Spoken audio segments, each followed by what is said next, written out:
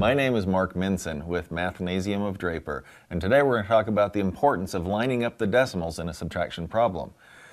When you're subtracting numbers, the important thing to remember is we're going by place value.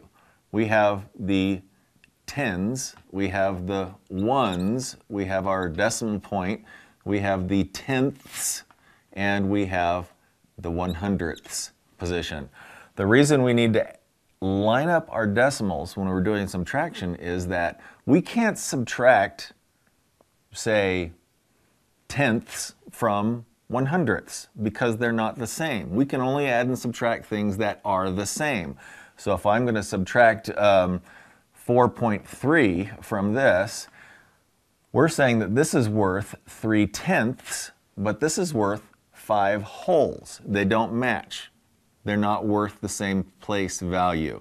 So it's very important for us to be able to subtract the same place value from uh, the other.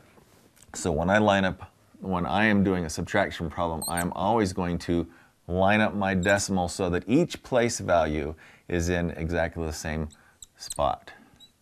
Now I can subtract one hundredths from one hundredths, two one hundredths from five one hundredths, which is three one hundredths. I can subtract three tenths from eight tenths, which is five tenths.